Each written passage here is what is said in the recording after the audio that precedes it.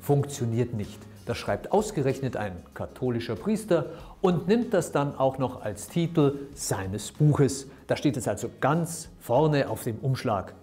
Wichtig ist aber der Untertitel. Deswegen glaube ich an ihn, an Gott. Und dann führt Thomas Frings seine Leser auf eine 180 Seiten lange Glaubensreise, bei der er viel überflüssiges religiöses Gepäck entdecken und zurücklassen kann.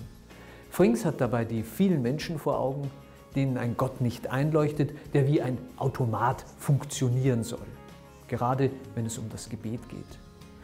Er soll retten in Gefahr und Not, denn wozu ist er sonst Gott oder von konkretem und praktischem Nutzen? Wer gelernt hat, dass Gott so funktionieren soll, wird zwangsläufig früher oder später enttäuscht. An einen solchen Gott würde ich auch nicht glauben, schreibt Frings ein paar Zeilen danach.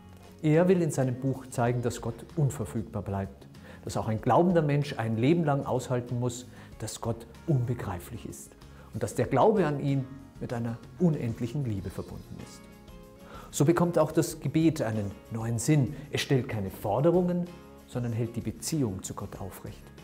Es ist eine demütige Theologie, die Thomas Frings verständlich ausbreitet.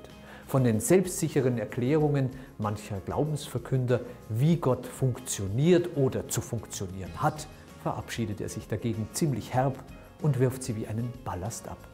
Vielleicht ist es gerade das, was manchen Leser aus einer möglichen Glaubenskrise herausführen kann. Glaube ist nicht etwas, das man einmal hat. Herz und Hirn müssen ihm immer wieder neu nachjagen und ihn neu finden. Thomas Frings gibt dafür Anstöße, die aber auch in Stolpern bringen können. Denn der Abschied von einem Gott, der funktionieren soll, kann in Glaubenslosigkeit oder sogar Verzweiflung stürzen.